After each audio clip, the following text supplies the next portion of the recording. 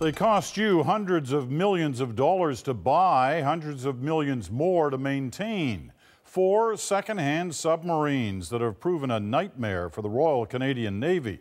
And tonight, one of those subs has a gaping hole in its nose. HMCS Corner Brook ran aground last year. At the time, the Navy said the damage was minor. But now, new exclusive photos show a far different picture. Tom Murphy has the story for us tonight from Halifax. Tom. Peter, people knew HMCS Corner Brook had been damaged at sea last summer, but now we can show you the extent of it. Exclusive pictures of a badly beaten up HMCS Corner Brook make it clear the sub will not be going to sea anytime soon. Taken just last month, you can see Corner Brook after it was lifted onto a dock, a gaping hole in its bow as if opened with a can opener. It's all shocking for this Liberal senator and former head of Canada's Senate Defense Committee. I was gobsmacked. I, I, had no idea that this level of damage had occurred, and that may explain why the Navy took them out of the water at night. In 2003, HMCS Corner Brook arrived in Canada to much fanfare. One of four used submarines Canada bought from the British. The sub has advanced instrumentation on board.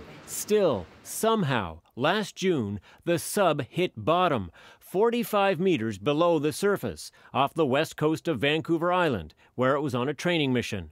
There were 60 sailors on board at the time. Back then, the Navy said that Corner Brook incurred damage to her bow and experienced minor leakage in a forward ballast tank. Today, the Navy said the pressure hull, which held the crew, was not damaged.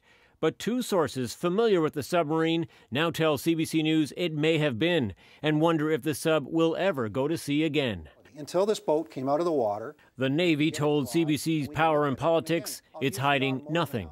When you're looking at your damaged car in the intersection and you can drive it home, you don't really know how badly damaged it is. So you're so saying you take, this is a fender bender? Well, it, it, it, it is similar to a fender bender, yes. It just happens to be a very expensive piece of equipment. But in an analogy, uh, that's what we're talking about. A Navy Board of Inquiry chalked the accident up to human error. The commanding officer has since been removed from command and reassigned to shore. And Corner Brook? It was set for its extended maintenance when this accident happened. It could really be extended now. The Navy says it's making changes to its training program as a result of this accident, but this leaves Canada with just one operational submarine, despite all the taxpayer money invested in this program, Peter. All right, Tom, so how much have taxpayers invested?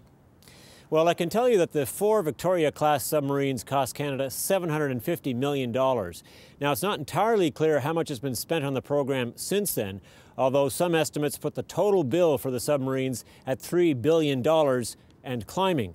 Of course, all of this has renewed calls for Canada to dump this submarine program. Peter. Tom Murphy in Halifax tonight. Thanks, Tom.